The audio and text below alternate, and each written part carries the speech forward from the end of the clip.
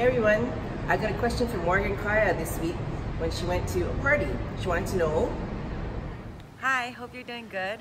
Need a rack. Crispy gau gee? Okay, so I don't really eat gau gee, so it's kind of a hard question for me. A lot of places in town, they have these big wrappers and then this much filling, so it's not really a good value. It's not really something that I eat. So I was gonna make this the shortest video ever and just say Roast Duck Kitchen and leave it at that.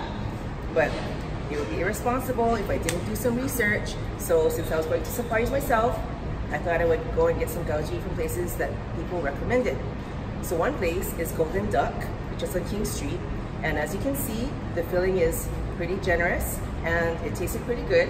And the wrapper was actually fried very lightly and crisp, not hard and crunchy like some other places. Another one is Waimalu Chop Suey in Pearl City because the gau gee is super big.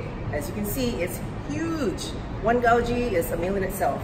But for me, the filling was kind of missing something, like maybe um, some seasoning or something for texture. So, I mean, it's good value, but not bad. Not really my first choice. Anyway, my last and final place for my research, I went to Roast Duck Kitchen, of course.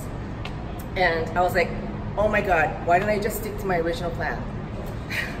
Everybody at the party said it was the best gau gee that they ever had, and the, the wrapper was um, nice and crisp. It tasted good.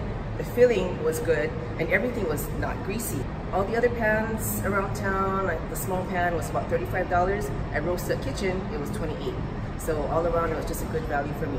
Okay, so if you have a question, follow me on social media, Melissa808, and ask me anything. Click the link to subscribe, and see you next time.